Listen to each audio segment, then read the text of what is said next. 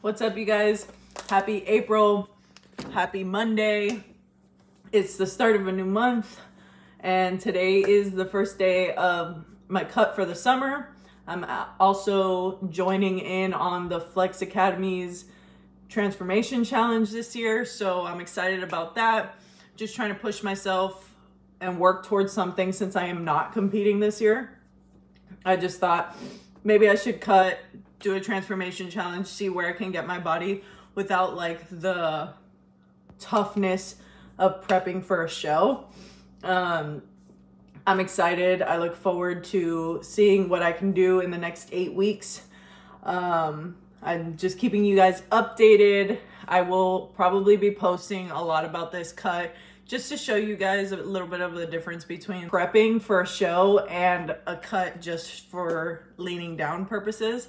I want to show you guys a little bit of the difference, a little bit of the discipline side of things. Like obviously when you're prepping for a show, you have to be way more disciplined than if you're cutting for the summer. That's on you. Like depending on how you want to look for the summer is how strict you're going to be with yourself. Um, but I am starting today and I'm excited. I after this past weekend of eating a lot of garbage, I'm ready to be on some sort of cut.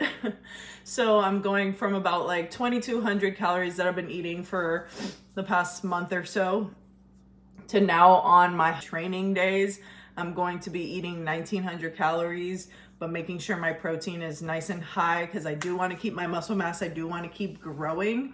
And then on my low days, still keeping my protein high, but dropping down to 1500 calories just to trick my body a little bit, switch it up, see how my body reacts to it.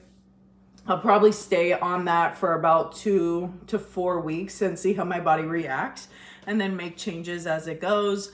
Um, cardio is going to be in my life again, but I am excited. I'm excited to see how far I can take it. Jenny is joining me on this little cut, so I'm excited about that. It will be nice for us to do this together. And yeah, I will keep you guys up to date and keep posting our progress. And yeah, I hope you guys are working towards your goals. It's never too late. It's April. We still have eight more months left of the year and you can still work towards those goals. Don't give up. Love you guys.